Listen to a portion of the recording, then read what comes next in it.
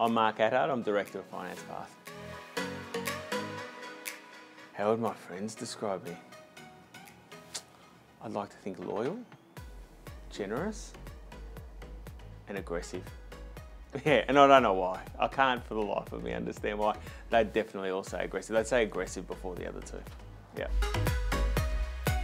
Lasagna, like, I'm thinking of what I like to eat, which is lasagna.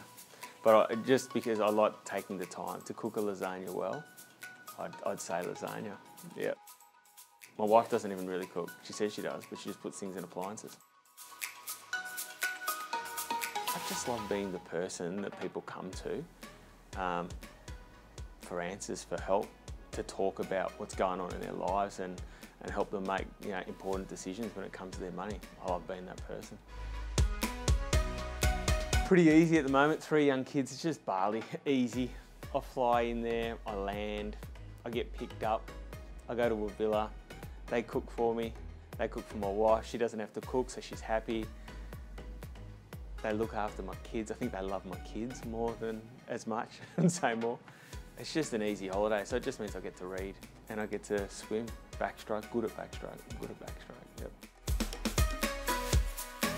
I reckon I'd take people on golf tours around the world. Pretty cruisy gig, I would have thought. I enjoy organising little trips and stuff like that. And so yeah, to visit some amazing places throughout the world and just take people to play golf, play golf myself. I reckon that'd be the dream gig for me.